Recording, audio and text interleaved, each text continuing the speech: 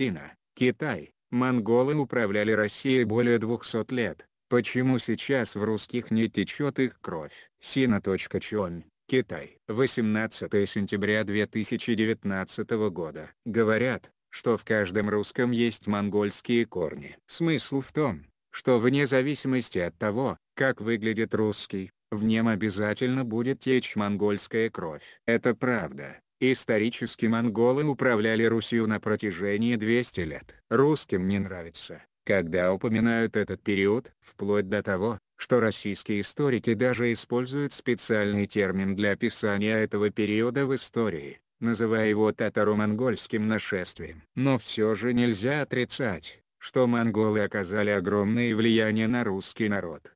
Все началось еще в IX веке. Тогда нынешняя Россия еще была группой разобщенных славянских племен, проживавших в восточной части Европы. Во времена Древнего Рима русские, кельты и немцы считались самыми отсталыми европейскими народностями. Впоследствии варяги с севера вторглись в Восточную Европу, захватив часть славянских поселений. Они основали нынешний город Киев и сделали его столицей государства Киевская Русь, которое было прародителем России. После основания Киевской Руси варяги по-прежнему следовали традициям славян. Они также поощряли смешанные браки для укрепления дипломатических отношений. Так кровь европейцев начала смешиваться со славянской. В 1206 году Чингисхан основал Монгольскую империю. Он не только желал захватить Западный Иля на юге и Северную Сун, но и жадностью смотрел на территории Киевской Руси. Монголы отважно воевали. За два западных похода в течение 15 лет им удалось захватить Киевскую Русь.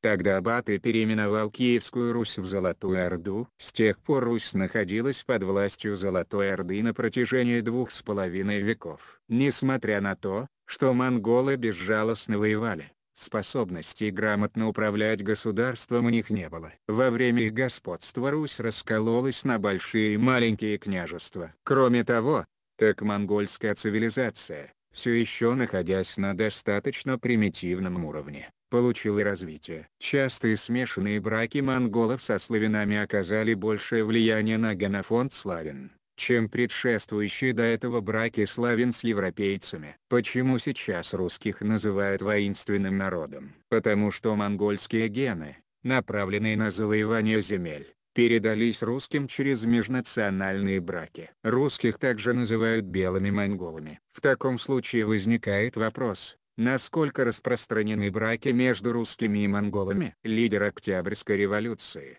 Основатель СССР Владимир Ленин на четверть монгольского происхождения, его бабушка, монголка, позже, ближе к концу управления династии Юань, 1271-1368 годы, Монгольская империя была разрушена. Славяне объединили свои силы, чтобы свергнуть власть монголов и вернуть государство. Славяне унаследовали многое от монголов, в том числе любовь к завоеванию земель. Однако впоследствии браков между русскими и монголами становилось все меньше, а с европейскими герцогами все больше и больше. Таким образом, можно сделать вывод, что в русских течет в основном европейская кровь. Несмотря на то, что монголы правили Россией 200 лет, это лишь страницы истории. Славяне спустя несколько столетий снова стали похожи на европейцев. Интересно, что до вторжения монголов нынешняя российская столица Москва была лишь небольшим пограничным городом. После того как монголы завоевали ее, они использовали Москву как основной город и размещали в ней конницу,